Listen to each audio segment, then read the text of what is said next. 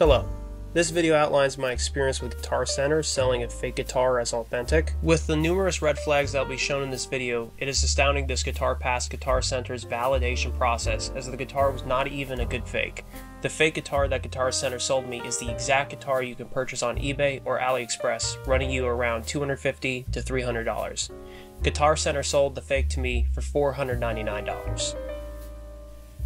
Starting off, we will be looking at the Guitar Center listing page. I'll show side-by-side comparisons of fake knockoffs versus authentic versions of this guitar during the unboxing portion of the video.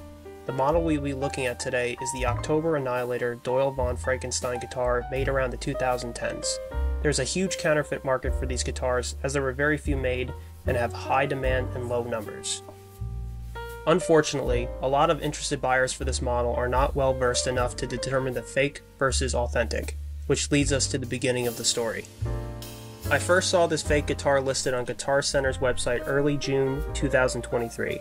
At first, I didn't notice the red flags from the pictures and attempted to make the purchase online. However, the guitar had sold within 5 minutes of it being listed. Upon looking closer at the pictures, it was abundantly obvious the guitar was fake. Most notably, there is no serial number. Fast forward about four days later, a reverb seller had listed the same exact guitar for three times the purchasing price. Now, funnily enough, an eBay seller had sold what I believe to be a fake for $1,500 on May 3, 2023, claiming it was authentic. Granted, the alleged fake that was sold was definitely modified to look more legit, there were still obvious signs that should make you question the authenticity. Now, I'm saying this is an alleged fake as I would never have the guitar in my hand, so to avoid trouble, I'm saying alleged. I felt this was an important side note to show how easy people are deceived. Now back to the Reverb listing. The fake guitar was listed about 4 days later on Reverb for $1,500 by a reseller. I reached out to the seller telling him this was a fake guitar and provided all the telltale signs I will be discussing in the unboxing portion of this video very shortly. The seller seemingly agreed with me and pulled the listing that day. About two days later, the guitar was listed on Guitar Center's website again, so it seems the Reverb's reseller had returned the guitar to Guitar Center. I proceeded to purchase the guitar on June 14, 2023, what follows is the unboxing portion with the side-by-side comparisons of fake versus authentic guitars. The first obvious signs of a fake is the licensed under Floyd Rose patents engraving on the bridge. This is a fake bridge sold by numerous sellers for cheap prices on Amazon and eBay. The real Annihilator came with a Floyd Rose special bridge. The next sign is the pickup is a knockoff Seymour Duncan Invader you can get from numerous sellers online. The previous owner probably replaced the stock counterfeit pickup with a more believable Invader looking pickup, but this pickup is fake as well. The real guitar came with signature Oktober Sucker Punch pickups.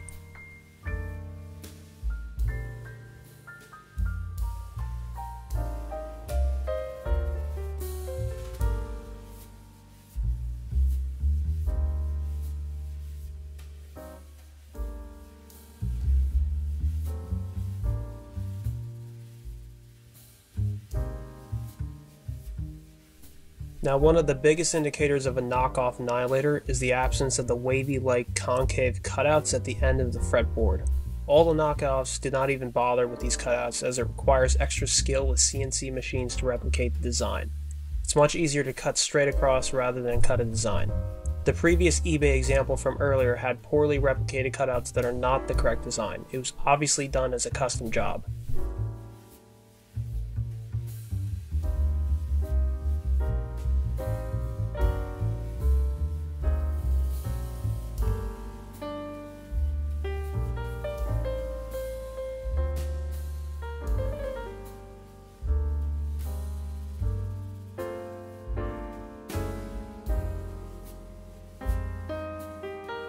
The truss rod cover in this still is not the correct cover. The authentic truss rod cover was more sharp. Also, the bar holding all the strings down is missing from the knockoff. There isn't even screw holes, meaning it never had the bar to begin with, as well as the locking nuts missing.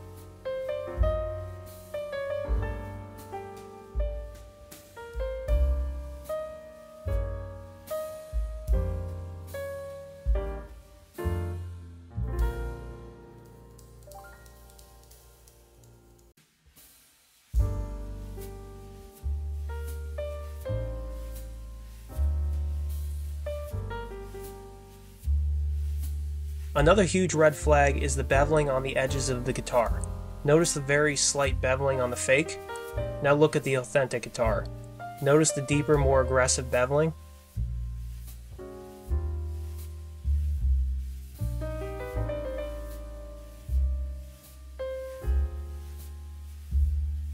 Another characteristic of fake Annihilator guitars is the absence of a fitted recessed cavity for the large back plate. Fake Annihilators have a large back plate sitting on top of the guitar. Real Annihilators have an additional shallow recess carve out to let the back enclosure plate sit flush with the guitar. Evident in this picture is the one small oval electronics cavity on the fake versus the two small oval electronics cavities on the real guitar. The fake guitars have only one cavity as the employees can save on build times by shoving the pickup and the output jack electronics in one cavity. As a result, the output jack is in the wrong place. It is higher on the guitar. The real guitar has the output jack lower on the guitar adjacent to where the second lower enclosure plate is located.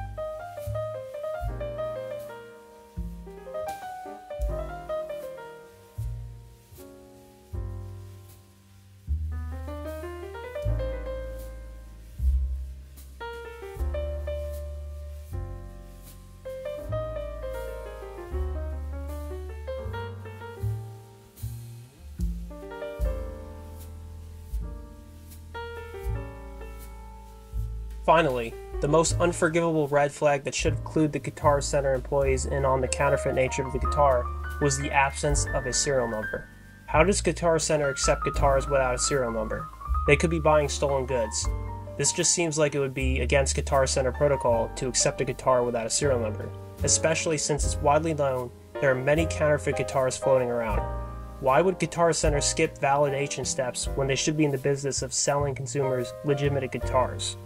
If anything, this would make me lose trust in a company that should be taking authenticity seriously. Tons of new and experienced guitar players rely on Guitar Center's reputation as a store that sells only authentic items. Seeing a guitar slip through the validation process with the red flag as gigantic as a missing serial number is astounding. What's even more amazing is the fact I returned the guitar shortly after to a brick and mortar Guitar Center location and they listed it the following day anyway, even after I explained the counterfeit nature of the item with all the arguments I listed in this video. I spoke to both an employee and a supervisor, and they assured me the tech would take care of it. I called up the store after I saw it relisted, and they said they would talk to a supervisor about it.